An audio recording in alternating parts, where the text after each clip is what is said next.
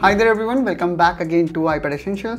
In this video, as you know, we are testing iPad OS 26 from quite a while. And one prominent change we saw in case of iPad OS 26 is how much better now it became when it comes to mimicking the full desktop-like experience. And the cursor play a very important part to it.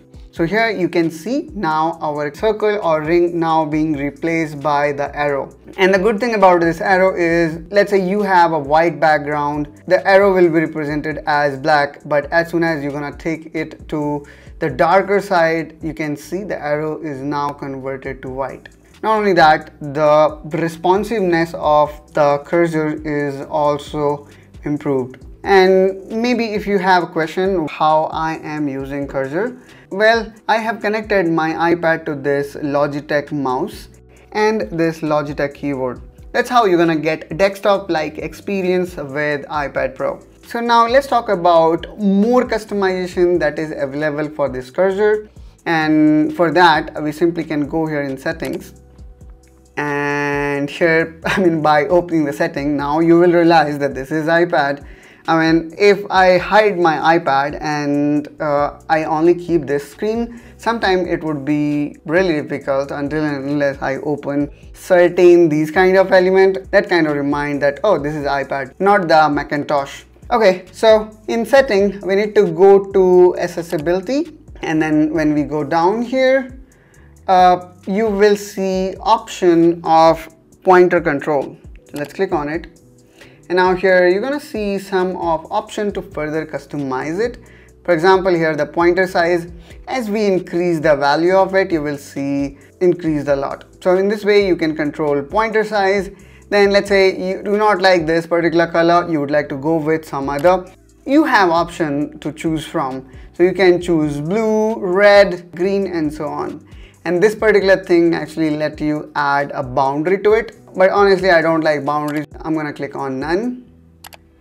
And now you're not going to see any boundary to it. Now uh, here we have got some further tweaks. For example uh, pointer animation uh, which kind of allow pointer to animate or change its shape based on the element where we are working. For example uh, let me open Microsoft Word. Hope I have installed it.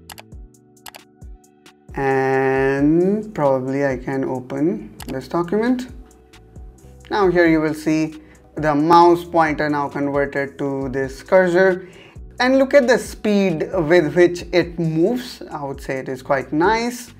And uh, you know we can go full screen. As you know this is again the power of iPad OS 26 now let me close this. Uh, so in this way I just wanted to show you how you know this pointer animation work now there is one more thing which is scrolling speed. So what will this do is whenever you scroll uh, for example page or here what I am doing uh, you know with the help of it you can control the speed of it. So if I make it very slow so now I am really scrolling my mouse wheel a lot to make minor change.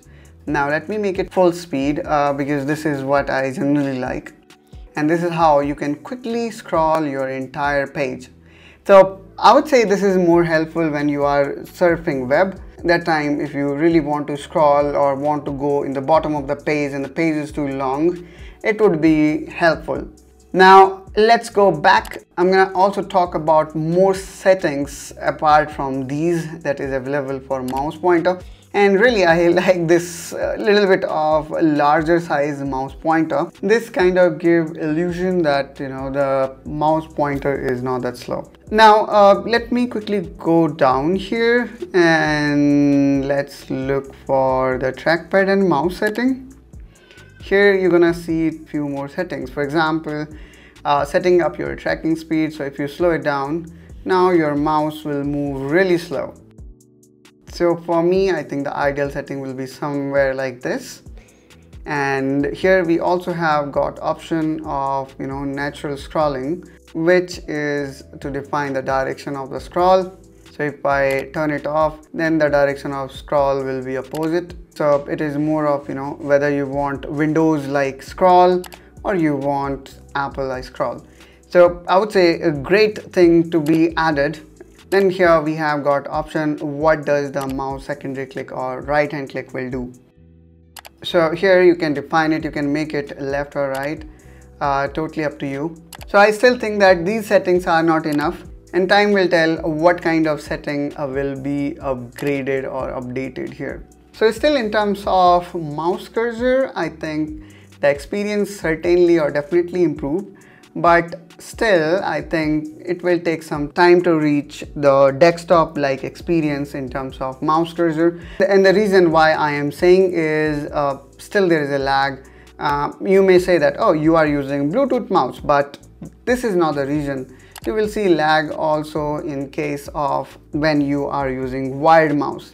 And yes when you only will use your iPad that time the lag will be less some other small quirks here you can see. When I try to you know shake my mouse inside my iPad here you can see how the cursor is becoming big.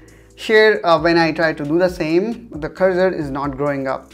So these are some of small things here and there that are still missing. So in the end I would like to say definitely this is step up and I would say in right direction when we talk about you know improving the mouse cursor experience inside iPadOS 26 much better than the iPadOS 18 but still I would say it needs to further go 10% more to reach desktop like experience. I hope guys you find this video helpful and informational.